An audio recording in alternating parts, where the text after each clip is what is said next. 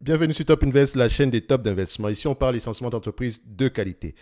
Alors, on a partagé il y a quelque temps, au mois de novembre de l'année 2022, donc à cette période-ci, une note d'analyse sur l'entreprise Tesla. Donc, la note d'analyse est essentiellement basée sur la lecture des rapports financiers, l'écoute des conférences call. Et sur une page ici, je vous dis à peu près ce que j'ai pu retenir de cette compagnie-là et à quoi s'attendre à court terme, selon moi. OK, donc ceci n'est que mon avis. OK, donc la note a été partagée pour les abonnés du service euh, de la Top Newsletter. À l'époque, avant, on partageait les notes d'analyse. Maintenant, ce n'est plus le cas. Attention on le fait uniquement voilà, de manière sommaire comme ça ou bien voilà, uniquement pour les abonnés du service Top Premium. Je rappelle que le lien vers le service Top Premium est dans la description de la vidéo. On en a déjà assez parlé. OK? So, maintenant, Tesla à cette période-là, voilà, ça restait une compagnie ici. On s'attendait à une baisse des prix à cette période-là. C'était au mois de novembre. Hein. On s'attendait à une baisse des prix. Baisse des prix qui est matérialisée depuis, enfin, de plus en plus matérialisée ces, derniers mois-ci. Donc aujourd'hui, on va refaire le même exercice, mais maintenant avec les, nouveaux arguments. OK? Donc ce que j'ai pu comprendre à peu près de la lecture des rapports financiers précédents. OK? Donc on a fait une vidéo ici il y a quelques temps par rapport à, sur, euh, sur Tesla. Je pense bien pour l'analyse ici des rapports du deuxième trimestre, si je ne me trompe pas. Donc Tesla, est-ce qu'on a l'information ici? Exactement. Non, non, ça fait longtemps. Je n'ai pas fait de vidéo sur Tesla depuis le mois d'avril. En tout cas, donc, on va, pouvoir, faire une mise à jour, une mise à jour ici rapidement. Un like, un commentaire, ça fait toujours plaisir. Un abonnement également, les amis, parce que ce genre de vidéo, ça me prend du temps. Même si ça semble être facile, ça prend du temps. Les rapports financiers, ça prend au moins une heure de temps quand on est très rapide, ok, quand on est habitué. Et l'écoute des conférences c'est à peu près la même chose. Maintenant, remettre tout ça ensemble, essayer de trouver voilà, les bonnes phrases voilà, ça, ça prend à peu près, disons, ça peut faire facile 4 heures de temps. OK? Et ça, c'est parce qu'on est très rapide. OK? So, encore, encore que c'est une compagnie que je connais un tout petit peu. Donc, on va aller rapidement. Je vais lire cette note d'analyse. D'accord? Simple. Alors, Tesla continue de faire progresser ses ventes à un rythme remarquable. L'entreprise a livré plus de 466 000 unités donc 466 000 unités au cours du trimestre de juin, soit une hausse impressionnante de 83% par rapport à l'année précédente. Cette augmentation reflète la forte demande pour ces véhicules électriques, la baisse des prix de vente moyens et un bond de 86% de la production d'automobiles. Donc, c'est combiné. D'accord? Donc, l'augmentation de la production la hausse de la demande pour ces, voitures électriques, donc les voitures électriques Tesla, ok, et ainsi que la baisse des prix de vente moins. Normalement, le marché n'avait pas apprécié la baisse des prix de vente moins, ok? Donc, ce qui atteint à peu près, donc la, production, euh, la, production atteint à peu près 479 700 unités, ok. Donc ça c'est la production, d'accord, pas les, pas les, pas les, pas, pas les livraisons, ça c'est la production. Donc, les ventes ont augmenté de 47% d'une année sur l'autre pour atteindre 24,9 milliards de dollars. Cependant, les bénéfices n'ont pas pu suivre. Malgré les records de livraison, de, euh, de production et de chiffre d'affaires, les bénéfices pâtissent de la baisse des prix de vente moyens évoqués plus haut, ainsi que l'augmentation des dépenses liées à son Cybertruck et à d'autres grands projets. Donc la direction vise une augmentation d'environ 31% de la production en 2023 pour atteindre environ 1,8 million d'unités. Cependant, compte tenu du resserrement des marchés, les prévisions de bénéfices ont été réduites, de 25% à 3,40$ par action. Vous vous rappelez que l'année précédente, à la même période, quand on parlait de Tesla, on, s'attendait à peu près à ceci, 4,70$. Euh, d'accord? Donc ici, avec une augmentation des ventes et les bénéfices ont augmentation de 30%. Donc entre-temps, vu la nouvelle configuration du marché, les prévisions ont été on, on, a réduit les prévisions, donc les analystes ont réduit les prévisions parce que généralement je me sers de ça, d'accord? Et après, avec des arguments qualitatifs derrière, il suffit juste pas de voir les prévisions vont être réduites par les prévisions vont être réduites par rapport à quoi c'est le plus important derrière, le, narratif derrière qui est important. Ok?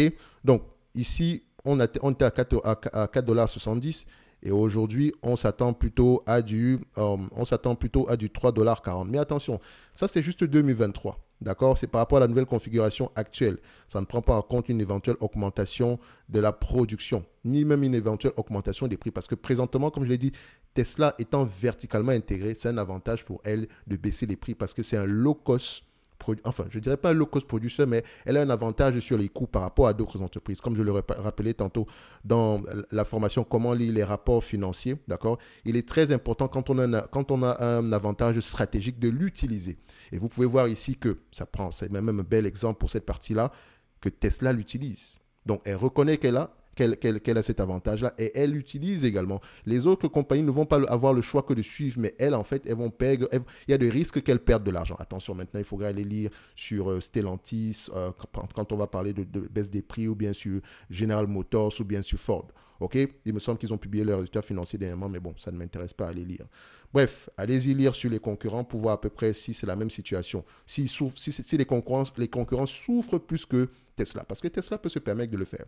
OK? Et ça, c'est encore le segment automobile, d'accord? Enfin, techniquement, tout ça est global. Tout ça est pris en un ici, non les 3,40$ ici, ainsi que même le segment des, des panneaux solaires, etc., qui ne rapportent pas d'argent. Mais Tesla également, n'oubliez pas que plus le volume de plus le volume de le, plus on a de, véhicules sur le, en circulation, mieux c'est pour nous, d'accord? Dans le sens où on pourrait vendre des services derrière. OK? Donc, ce qui représente une baisse d'environ 6% par rapport à l'année dernière. Donc, la baisse des revenus de 6% par rapport à l'année dernière. Donc, l'année dernière, on était à peu près à combien? On était à, non, c'est plus que 6%, 4 dollars. Ah, ok, par rapport, c'est par rapport au trimestre précédent ici. Donc, 16% plutôt. Je pense que c'est 16% que je voulais mettre, pas 6%. Ok, donc on continue ici. Par rapport à l'année dernière. Pour 2024, les prévisions, donc on va faire simple ici. On va mettre ça là, voilà. Donc, pour, euh, pour, pour 2024, les prévisions de vente ont été réduites de 3, dollars, de 3 milliards de dollars à 127 milliards de dollars globalement et les prévisions de bénéfices ont été réduites de 0,5 dollars à 4 dollars 50. Donc on s'attend à 4 dollars 50 pour 2024. Ça c'est uniquement 2024. Ce qui est une bonne nouvelle d'empêche. OK? Donc l'augmentation de la production sera essentiellement euh, sera essentielle pour permettre à Tesla de conserver sa position dominante sur le marché. Son modèle Y a été le véhicule le plus vendu du monde au cours du premier semestre de l'année. Ça, c'est magnifique. Par ailleurs, le prix de la berline modèle 3 a été ramené à moins de 40 000 dollars, soit plus de 6 000 dollars de moins que la moyenne des véhicules neufs. Donc, dans ce secteur d'activité-là, donc le segment des berlines, leur voiture coûte, moins de, coûte 6 000 dollars de moins que la moyenne. Donc, vous voyez à quel niveau il se situe. Donc, ce qui veut dire que si je veux acheter une voiture électrique, et que je, voilà, je regarde les concurrents qui sont aux alentours de 40 000 et que Tesla me propose du, du, du, 34 000 dollars, il y a de fortes chances que je prenne ma décision d'achat, que, ma décision d'achat soit prise essentiellement sur le prix. OK? Donc, ce qui devrait stimuler les ventes, donc cette, cette réduction des prix-là pourrait stimuler les ventes. Étant donné que Tesla assemble ses véhicules à la demande, attention, l'optimisation des capacités reste une priorité. Donc, ça dire qu'il faut absolument que les usines fonctionnent en pleine capacité. D'accord? Donc, on baisse les prix, les commandes augmentent, on produit les véhicules. D'accord? Donc Tesla ne produit pas avant de vendre. D'accord? Ils vendent avant de produire. D'accord? Donc c'est une bonne chose. Au moins, ils ont une certaine visibilité par rapport à la production. Et une usine, c'est pas comme si, si une partie n'est pas utilisée, il faut, quand même, la maintenir. Ça ne me ramène pas de l'argent. Donc il faut absolument que ça fonctionne à plein régime. So, L'entreprise souhaite doubler la, capacité de production de son usine en Allemagne pour atteindre un million de véhicules par an, ce qui ferait, la, plus grande usine, d'elle la plus grande usine d'Europe, donc en Allemagne. D'accord? En plus de ces activités de réduction des coûts, l'entreprise profite de plus en plus des économies d'échelle. Tesla étant verticalement intégré, c'est un avantage pour elle. Maintenant, est-ce que les concurrents ont le même avantage? Non. Et je pense qu'on en a parlé sur, une, des vidéos ici concernant Tesla par le passé. Donc, précédemment ici également, voilà, vous pouvez avoir accès à, cette note d'analyse ici, celle de, novembre ici dans la top newsletter, parce que celle d'aujourd'hui, je ne vais pas la partager ici. De toute façon, vous avez déjà la vidéo. Donc, de toutes les façons, vous joignez les deux à peu près, vous voyez ce qu'on disait. Donc, à, à cette période, on disait ceci. Le rythme de croissance des ventes et des bénéfices est susceptible de ralentir quelque peu en 2023 croissance des ventes et des bénéfices. Le rythme de croissance, ça ne veut pas dire qu'on aurait une décroissance. Donc, vous pouvez comparer ici par rapport à cette période. On, a, on avait à peu près 40, on a 40% au mois de juin 2023, croissance des revenus. Et au mois de juin 2022, on avait 59, on avait à peu près 60%. Les bénéfices ont diminué par rapport à l'année précédente parce qu'il y avait une baisse des prix, etc. Et ça, au mois de novembre, par exemple, euh, L'inflation des matières premières devrait euh, progressivement s'atténuer, tout comme les récentes inefficiences liées à l'accélération de la production dans les usines les plus récentes de Tesla. Cependant, comme l'entreprise s'est développée rapidement ces dernières années, il sera de plus en plus difficile de répliquer ces, avancées impressionnantes, tout en reconnaissant les goulots d'écrangement de la chaîne d'approvisionnement qui continue de peser sur l'industrie et le potentiel d'une récession qui pourrait survenir l'année prochaine. Il est probable que les ventes augmentent de plus de 35% en 2023 et que les bénéfices augmentent de 30% supplémentaires. Donc, au niveau des ventes, on a eu bon, mais au niveau des bénéfices, voilà, la baisse des prix ici a eu un impact assez négatif. Mais ce n'est pas plus grave que ça. D'accord? So, vous pouvez également voir que dans cette optique, le lancement du semi-remorque devrait débuter en décembre. Donc, on s'attendait ici et la production de modèle Y ici accélérée en même temps que le lancement de la gamme Cybertruck tant annoncé. Donc, le, la, le, les, semi-remorques ici, voilà, on s'attendait à décembre 2023, donc semble-t-il qu'il il peut avoir des retards, etc. Mais voilà, ça fait partie du day-to-day de la vie d'une entreprise. OK? On peut avoir des prévisions, mais après, l'essentiel, c'est de s'adapter par rapport aux nouveaux problèmes ici. Dans tous les cas de figure, moi, je pense que Tesla, du point de vue business, on est correct. D'accord? Du point de vue business, on est correct. Et ça, ça date du mois de novembre. Donc, si au mois de novembre, tu t'attends déjà à un certain ralentissement, c'est une bonne chose. D'accord? So, Au mois de novembre également, n'oubliez pas, au mois, enfin pas au mois de novembre, mais l'entreprise nous a proposé un prix d'achat aux alentours de 113 dollars par là. Je pense qu'on a fait une vidéo à peu près vers cette période-là, 150, 113 dollars par là. D'accord? Je pense au mois de janvier, on avait fait une vidéo par rapport à ça. Notamment, je pense qu'on à cette période-là qu'on avait annoncé la baisse des prix, etc. Donc, euh, Ici, en date d'aujourd'hui, est-ce que Tesla reste dans une, une, compagnie intéressante au prix actuel? La réponse est tout simplement non. OK? Tout simplement non en date d'aujourd'hui.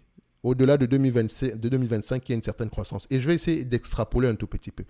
Tesla est une compagnie en pleine croissance. Je vous ai toujours dit qu'il faut acheter une compagnie de croissance à un prix qui n'implique pas la croissance. OK? Donc, le prix qui n'implique pas la croissance ici par rapport à Tesla, voilà, c'est aux alentours d'une centaine de dollars par là.